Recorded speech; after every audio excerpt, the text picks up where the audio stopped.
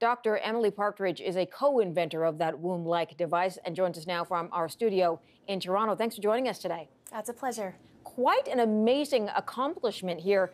Tell me when you were thinking about this initially, initially what the idea was. Well, you know, as a physician training in Toronto, I spent a lot of time in neonatal intensive care units seeing the consequences of extreme prematurity. Um, it is an incredibly frustrating problem clinically because of how limited we are uh, in terms of what we can do to support these babies at present time. So, really, from the time of my earliest stages of medical training, I started looking into this uh, technology. And when the opportunity came to go to CHOP, which is a center of excellence for fetal surgery, um, I pitched this idea really with the belief that this offered a, an unprecedented opportunity to improve what we can do for these babies. Let's talk about what you can do because right now, uh, a baby born premature would go, I guess, into an incubator. Uh, what would be different about this? I'm going to call it a bio bag, but it's an artificial womb. That's correct. Uh, presently, um, infants that are born at the cusp of viability uh, are faced with a lot of problems because of how immature the organs are. Um, one of the biggest hits is the lungs. They're really not ready to breathe air yet. A fetus in utero uh, is surrounded by fluid and actually breathes that fluid. Um, this is part of how the fetus grows lungs and the muscles required to breathe.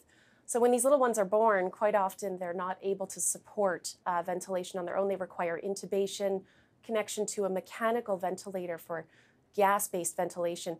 And really, what that results in is an arrest of lung development. So, even in those patients who do survive, they are faced with a lifelong uh, limitation uh, due to the lung disease that results from this, uh, this intervention. What the artificial placenta represents uh, is really an environment where the fetus can continue to be submerged in fluid. The lung development can continue as it would in utero. Uh, and from what we've seen in the lamb studies, this translates to an astonishing uh, improvement in their lung maturation and function. How hard was it to create amniotic fluid for that for that womb? Uh, it was challenging. we looked at a lot of research on what constitutes amniotic fluid. Uh, we had a lot of dry runs and a lot of hours on the bench uh, trying to produce this. Um, the quantities required for the level of experiments to maintain an animal for four weeks requires uh, hundreds of liters of fluid. So um, even just working out how to make that much fluid in the lab was a challenge. Uh, but we uh, have been very gratified that we stuck with it. A lot of uh, earlier research efforts have said that it can't be done. We felt it was really important uh, to achieve fluid incubation in a sterile way. So that is one of the big innovations of this, this prototype. You mentioned uh, that inside the lamb would be uh, breathing the fluid. What about nutrition? So we feed the lambs as well through the circuit. They receive um, intravenous uh, protein, carbohydrates, and fats, and that's very similar to uh, what the neonates would be given presently in the NICU. All right, so let me ask you because obviously you built this thinking uh, the animal would be in there for four weeks' time. Is there a possibility of expanding that time period so one day we could see sort of a fertilized egg grow in a womb, a created womb to, to full maturation? We're asked that question a lot, and the answer is unequivocally no.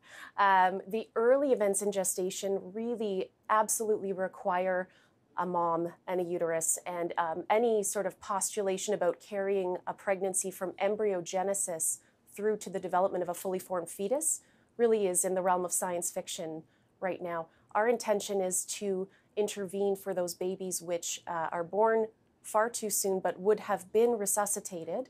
Uh, so, a 23 to 24 week gestation infant is one that uh, consensus of uh, intensivists would feel ethically uh, obligated to resuscitate and to bridge those infants to a later stage of development when their chances for survival are basically 100%. Wow. Dr. Emily Partridge joining us today from Toronto. Uh, she is one of the co inventors of this artificial womb. Very interesting stuff. Uh, thank you for joining us. Congratulations on your work. Thank you very much. Have a good day.